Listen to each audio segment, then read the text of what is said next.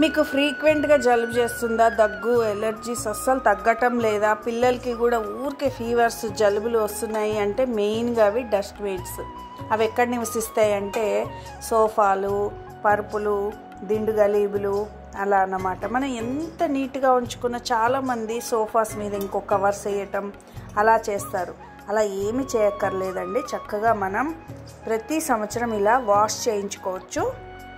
చాలామందికి డౌట్ ఉంటుంది ఏంటి అంటే ఇలా సర్ఫ్ అంటే కెమికల్స్ తోటి అంటే తడితోటి క్లీన్ చేయటం వలన ఈ సోఫాలు తర్వాత దిళ్ళు పాడైపోతాయేమో ముద్దలు ముద్దలు అవుతాయేమో అని చాలామందికి డౌట్ అలా ఏం కాదు. ఎందుకంటే వాళ్ళు ఫస్ట్ సర్ఫ్ వాటర్తో పెట్టి నానబెట్టినాక ఇలా లిక్విడ్స్ మంచి లిక్విడ్స్ వాడతారు. సో దా అది పెట్టడం వల్ల ఏమవుతుందంటే ఇమీడియట్గా మనకి డస్ట్ అనేది రిమూవ్ అవుతుంది. మరి నీళ్ళల్లో కలిపి పెడతారు. ఇలాంటి స్ట్రాంగ్ బ్రష్ తోటి బాగా రుద్దుతారు. రుద్దేసరికి ఏమవుతుందంటే డస్ట్ ఎక్కడికక్కడ వెళ్ళిపోతుంది. ఫస్ట్ ఇలా ఈవిడ ఏం చేస్తుందంటే ఆ లిక్విడ్స్ అన్నీ పోసుకొని ఇలా నానబెడుతుంది. ఆ లిక్విడ్స్ కూడా మనం ప్రైవేట్గా మనం బుక్ చేసుకుంటే మనం నమ్మలేం కాబట్టి అర్బన్ కంపెనీ ద్వారా బుక్ చేసుకుంటే ఏంటంటే వాళ్ళు వర్క్ పూర్తిగా ఎలా చేయాలో మనకి ఆ ప్రైజ్లు అలా ఇస్తారు. సో అందరినీ కూడా నమ్మలేక నేను అర్బన్ కంపెనీనే బుక్ చేస్తాను. సో ఆ లిక్విడ్స్ కూడా ఫోటో వాళ్ళు ఏం వర్క్ చేశారు ఏంటి అనేది వాళ్ళకి పెట్టిన తర్వాతనే మనకు వర్క్ స్టార్ట్ చేస్తారు. అందుకని మంచి లిక్విడ్స్ అర్బన్ కంపెనీ నుంచి వీళ్ళు కొనుక్కొని వీళ్ళు మనకి అప్లై చేయాలి. లేదంటే మామూలుగా సర్ఫ్ పెట్టేస్తారు. టైడ్ సర్ఫ్ ఏదో ఒక లిక్ వీల్ సర్ఫ్ లేదా ఏదో ఒక షాంపూనో పోసేస్తారు. వాటి వల్ల మురికి పోదు.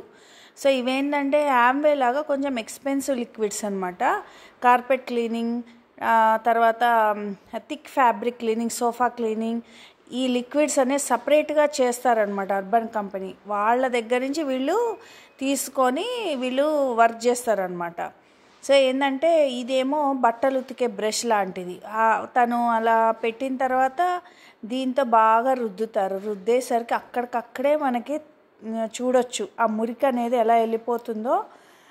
ఇది హై ప్రెషర్ తోటి క్లీన్ చేస్తుంది కాబట్టి ఇంకా ఎక్కడన్నా ఎక్స్ట్రా మురికి ఉంటే అలా స్ప్రే చేస్తారనమాట మనం కూడా కొంచెం చూసుకుంటే ఎక్స్ట్రా ఎక్కడన్నా మురికి పోలేదు అంటే కనుక మనం క్లీన్ చేయించుకోవచ్చు. సో దా సోఫాలకున్న దిళ్ళు గలీబులు కూడా పిల్లోస్కి కూడా ఇలా క్లీన్ చేస్తున్నారు.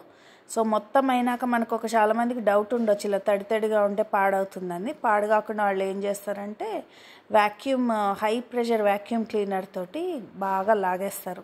సో తడి మొత్తం వెళ్ళిపోద్ది. సో ఈ క్లీన్ చేసిన తర్వాత టూ అవర్స్కి మొత్తం మనకి సోఫా అనేది డ్రై అయిపోద్ది. అసలు గుమగుమలాడుతూ ఫ్రెష్గా మనకి తెలుస్తుందండి.